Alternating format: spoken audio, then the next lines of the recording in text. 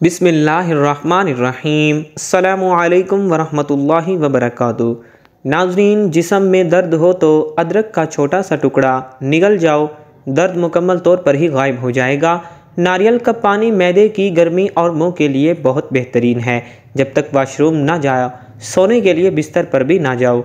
بے اولاد جوڑے سبز، الائچی اور میترے کے بیج۔ ہم وزن لے کر ایک بیج صبح و شام دودھ کے ہمراہ کھائیں۔ انشاءاللہ تعالی صاحب اولاد ہو جائیں گے۔ کاجو کھا لیا کرو، آپ لوگوں کی جلد بہت ہی اچھی رہے گی۔ ناظرین، جن لوگوں کا میدہ اکثر خراب رہتا ہے، ان کے لیے پکے ہوئے انگور کھانا بہت زیادہ مفید ہے۔ میدے کے مریض افراد انگور کا ناشتہ کرنے سے صحت یاب ہو جائیں گے۔ سفر پر جانے سے قبل پیاز کھا لیا کریں۔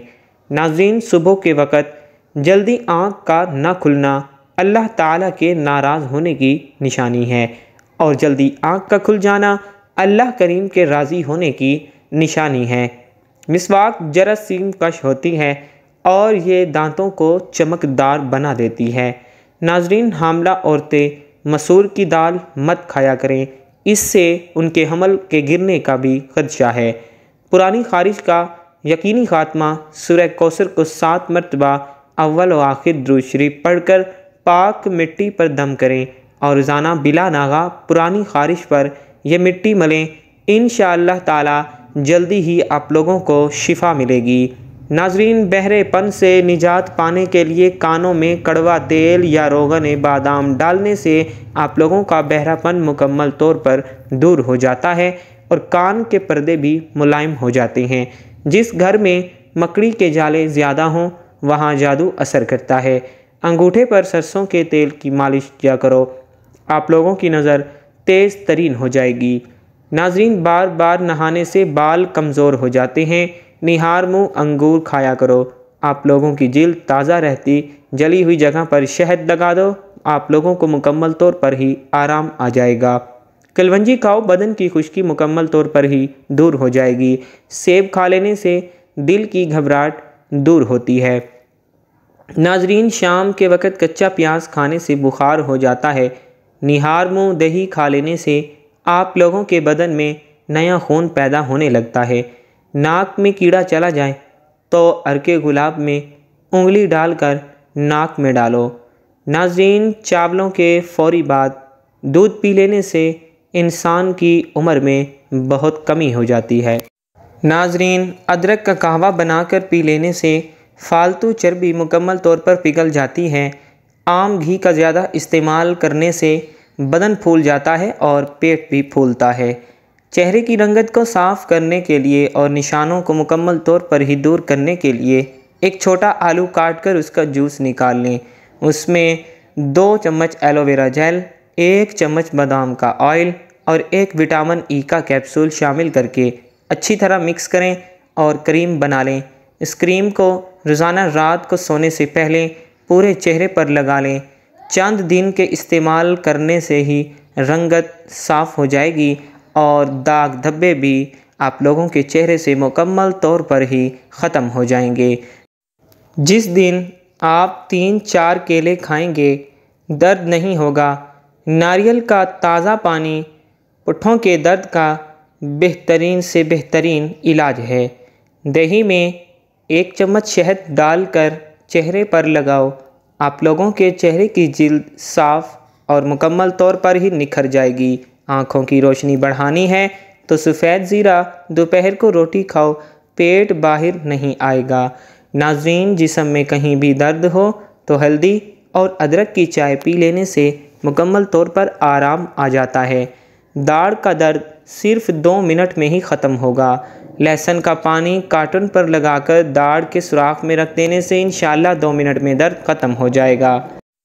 شوگر کے مریض بڑی الائچی کے اندر سے دانے نکال کر صبح و شام روزانہ پانچ پانچ دانے کھا لیا کریں۔ انشاءاللہ بہت جلد شفا حاصل ہو جائے گی۔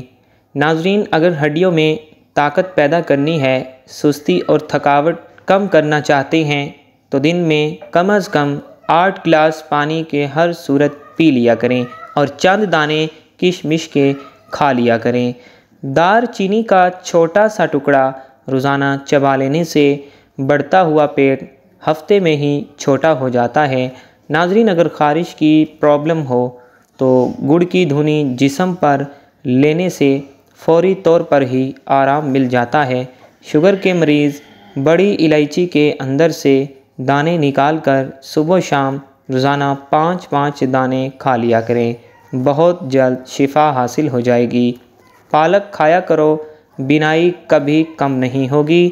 حمل نہ ٹھہرنے والی بیماریوں میں بڑی وجہ بڑھاپا ہے۔ ناظرین، کھانے کے فوری بعد سونے سے پیٹ کی چربی بڑھنے لگتی ہے اور میدے میں بھی تیزابیت پیدا ہونے لگتی ہے۔ مسکرانے سے دل کی نالی صاف ہو جاتی ہے۔ پیشاب زیادہ دیر تک روکنے والے کے گردے بہت ہی جلدی خراب ہو جائیں گے۔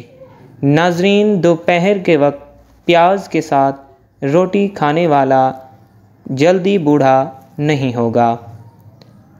بھنے ہوئے چنے کھا لینے سے سو سال تک گھوڑے جیسی طاقت رہے گی۔ ناظرین بچی ہوئی روٹیاں اگلے دن کھا لینے سے بہت سی بیماریوں پر کنٹرول کر سکتے ہیں۔ دودھ پلانے والی عورتوں کو ٹھنڈی چیزوں کا استعمال کم سے کم کرنا چاہیے۔ ناظرین، زیادہ ٹھنڈے پانی کے استعمال کرنے سے لوگوں کو ہارٹ اٹیک ہوتا ہے۔ پان کے پتے کچے چبا لینے سے دماغ کھلتا ہے۔ زیادہ بولنے والا انسان کم عقل ہوتا ہے۔ دودھ میں شہد ملا کر پی لینے سے بوڑھے ہو جائیں گے، مگر آپ لوگوں کی ہڈیاں مضبوط رہیں گی۔ پودینے کا شربت بنا کر پی لینے سے متلی ہو تو آرام آ جاتا ہے۔ سفید چنے شوگر کو کم کرنے میں مفید ہیں۔ بدن پر بڑھاپا محسوس ہونے لگے تو روزانہ رات کو انجیر کے دو دانے شہد کے ساتھ کھا لیا کرو۔ آپ لوگوں کی جوانی واپس آ جائے گی۔ اگر آپ لوگ تھکاوٹ محسوس کر رہے ہیں تو تھوڑا سا گڑ کھا لینے سے آپ لوگوں کو بہت زیادہ انرجی ملے گی۔ ناظرین، اکثر لوگوں کے بال خشک ہو جاتے ہیں۔ ایسے میں اگر سر دھونے کے بعد بالوں کے جڑوں میں ارک گلاب لگا لیا جائے تو آپ لوگوں کے بال خشک نہیں ہوں گے۔ روزانہ لیموں کا پانی پی لیا جائے تو ہفتے بعد تین کلو چربی کم ہو سکتی ہے۔ گاجر قبض گشا ہے۔ گاجر کا حلوہ بدن کو موٹا کرتا ہے، گردے کے درد اور کمر کے درد کے لیے بھی گاجر کا حلوہ بہت زیادہ مفید ہے۔ ناظرین، دانتوں اور مسوڑھوں کی حفاظت کے لیے گاجر کو چبانا بے حد مفید ہے۔ آٹے میں سونف ملا کر روٹی کھا لینے سے آپ لوگوں کے چہرے کی جھریاں مکمل طور پر ختم ہو جائیں گی۔ صاف اور نرم روئی دودھ میں بھگو کر آنکھوں پر رکھیں۔ دودھ آنکھوں کو آرام دیتا ہے۔ بار بار پیشاب کی حاجت ہوتی ہے تو ایک چھٹانگ بھنے ہوئے چنے کھا کر اوپر سے گڑ کھا جائیں۔ ہفتہ لگاتار کریں۔ ناظرین، جو عورتیں مرچیں تیز پسند کرتی ہیں، ان کے بچے بہت ہی زیادہ چالاک ہوتے ہیں۔ ہر وقت پرسکون رہنے والے انسان کے دماغ کی صلاحیت بہت زیادہ بڑھ جاتی ہے۔ ناظرین، اگر آپ کو آج کی ہماری یہ ویڈیو پسند آئی ہو، تو ہماری ویڈیو کو لائک کیجیے گا، شیئر کیجیے گا اور ہمارے اس چینل کو سبسکرائب ضرور کیجیے گا۔ زندگی رہی تو انشاءاللہ نیکسٹ ویڈیو میں ملاقات ہوگی۔ تب تک کے لیے اللہ حافظ۔